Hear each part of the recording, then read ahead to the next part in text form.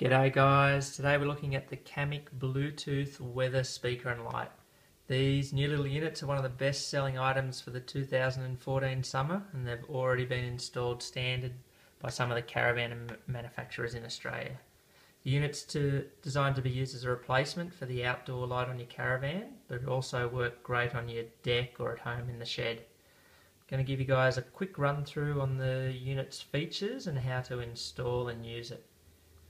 Weighs just over one kilo and it's made from an outdoor UV plastic and the mesh over the speakers is metal. Whole thing's sealed and it's fine to be used in, a, in the rain.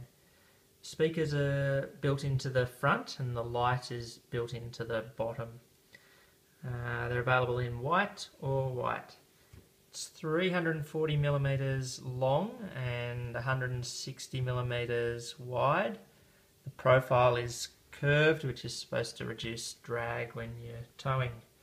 Uh, in the box, you also get a mounting kit uh, with some screws and brackets and some foam, which uh, helps you install on the aluminium cladding on the side of your van. To do it yourself kit, so most people should be able to install it without any trouble. There's only two wires for the 12 volt uh, and four screws. Okay, the light can be controlled by the, um, the internal switch in your van or there's also an external switch out on the light itself.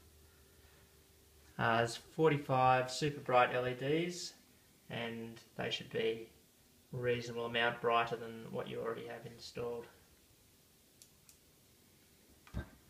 The speakers are Bluetooth, uh, so to run them, they'll run off your phone or any um, Bluetooth device, uh, iPad, computer.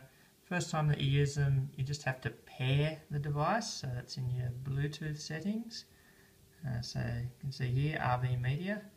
Okay, once that's done, then you can just start playing your music.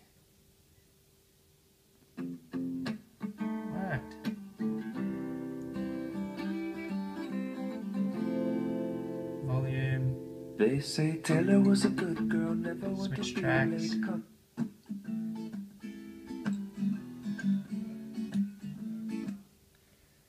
Okay, so that's it. That's the Camec uh, Bluetooth weather speaker and light. They come with a two-year warranty and they're available from caravanspluscom.au. Thanks for watching. See you next time.